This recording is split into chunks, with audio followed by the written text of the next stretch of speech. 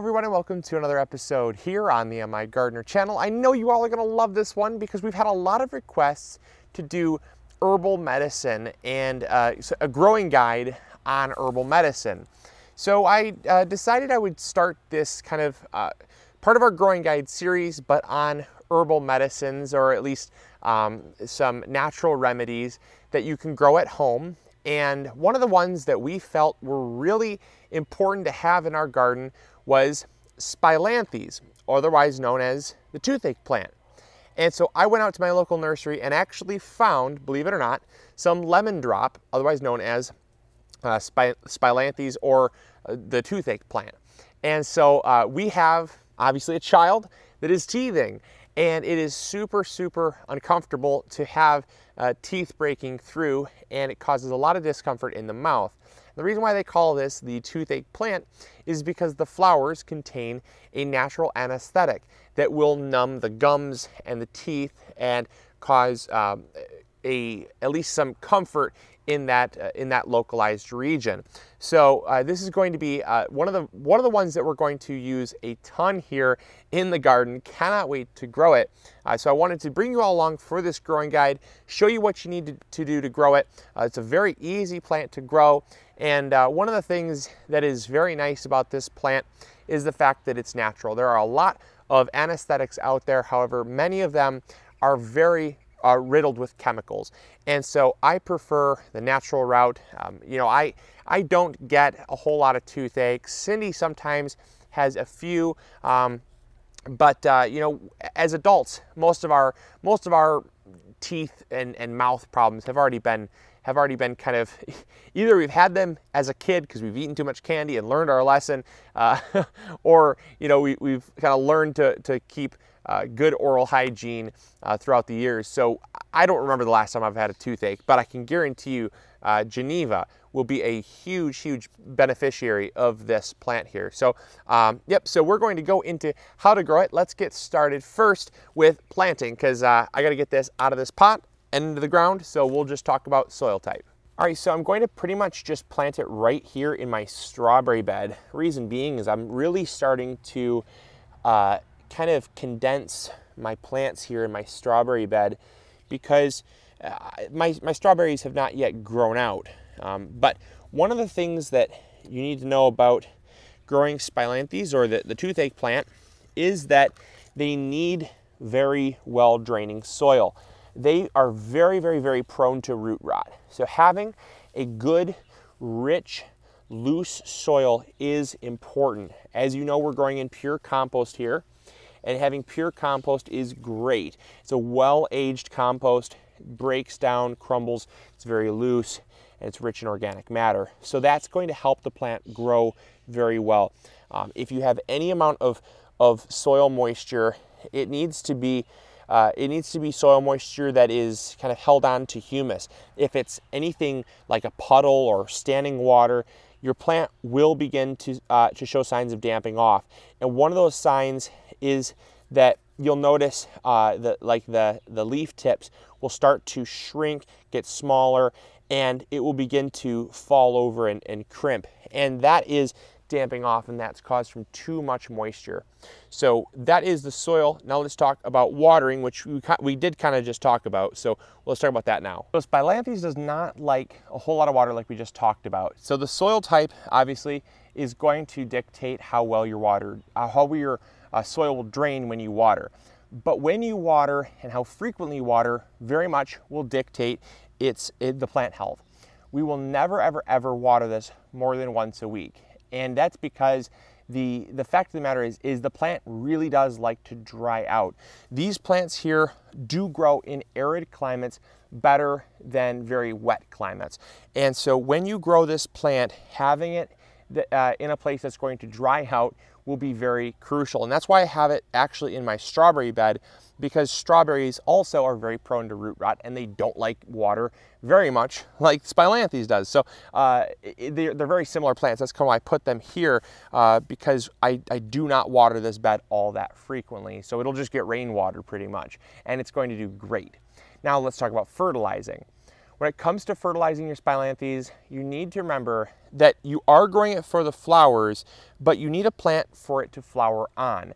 And so a lot of times people will just give it a, a, a, basic fertilizer, and that is fine. Spilanthes is not very particular. We will be giving this Trifecta Plus. We'll come back here and just uh, top dress around the base of the plant with about a quarter cup of Trifecta, and that's gonna last all season long. It's going to feed it all season long, and it's going to do great. But just any well-balanced fertilizer will work because you don't want too high of anything. You want it to be very well-balanced because you want to support plant growth, but then you also obviously want the plant to flower. And if you just give it nitrogen, well, it's going to uh, it's going to promote a lot of leaf growth, but it's not going to flower as much. So just a very all-purpose, well-balanced fertilizer is going to do the trick.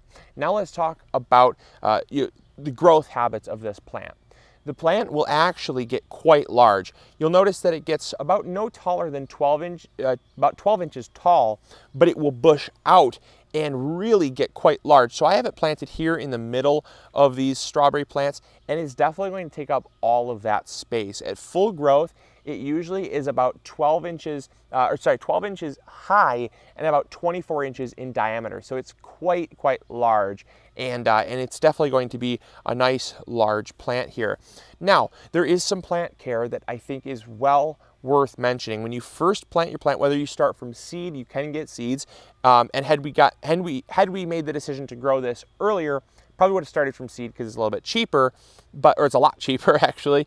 But um, starting from starts is totally fine, especially if you just have if you just need one plant and you can and you can have access to that plant uh, at a greenhouse. Sometimes that's worth it too. Uh, but uh, when you get if you start from uh, starts or from seed and you, you have your seedling and you're getting ready to transplant it in the garden, you want to remove all flowers. So you can see here, there's a flower coming on right there. We want to remove that flower because that flower is going to take away a lot of energy from the plant. Here's another flower there forming, or a bud, I should say, and a bud there. Um, so we've removed all the buds, and that's going to focus energy on growing. This plant is much too small to begin flowering, and it's really going to overstress the plant.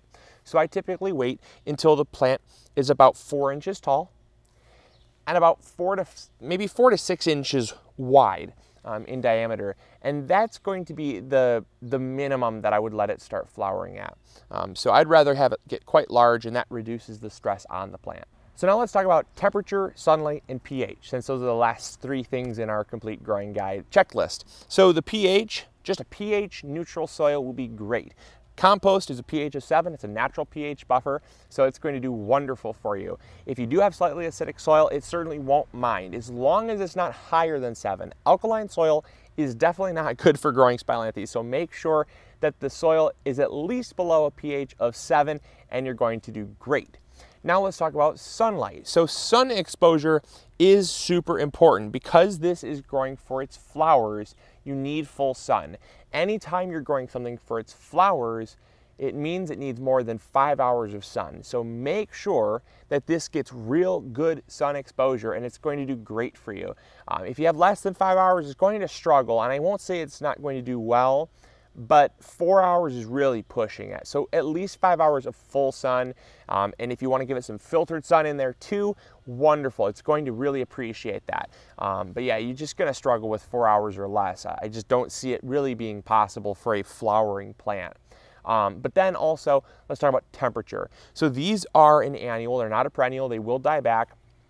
But what you can do is you can actually pull this uh, pull this up and bring it indoors. It overwinters indoors very well. Um, you just got to dig it up, make sure you get a lot of the roots, and you can bring it uh, bring it indoors. Um, but in terms of temperatures, you got to do it before the nights dropping down start dropping down into the 40s. It does not like cold temperatures. It is very much a warm, uh, summer loving plant. So make sure that if you're going to preserve it and you're going to take it indoors, uh, just do it before uh, kind of late summer, I guess you could say. Um, as soon as those nights start dropping down into uh, the mid 40s, I pull it out and I'll put it in a pot and take it indoors because um, it just really, really will suffer. You'll notice the first thing when it starts getting cold is the tips of the leaves will start to turn brown, um, like any plant does that does not like the cold. And then what'll happen is it just starts dying back. And, and once it starts dying back, it's almost impossible to save it. So it's better to do it before that stage so that uh, you can save yourself uh, a whole lot of hassle. But that's really it to growing Spilanthes, otherwise known as the uh, well, lemon drop or toothache plant. Hopefully you all enjoyed, and this will be uh, kind of an ongoing series about growing medicinal plants and, and how to grow them in a complete growing guide format. Uh, I do hope you enjoyed. If you do like these complete growing guides, we have a huge playlist. I'm talking on big, big playlist. I think it's up to like 35 videos now, um, maybe even more and uh, it's loaded with tons of helpful information. So go check it out. Um, I will post a link to it if I can remember uh, to do it in the description box below. If not, you can find it on YouTube. Also, you can find it over on migardener.com. Click the media tab and there's a videos that will drop down into a, a separate drop down box that has growing guides there. You can check out the whole playlist there. So as always, I do hope you enjoyed this video. Hopefully you shared it with a friend, liked it as well. That always helps. And please do remember to grow big or go home. This is Luke from the MI Gardener channel. I'll catch y'all later. See ya.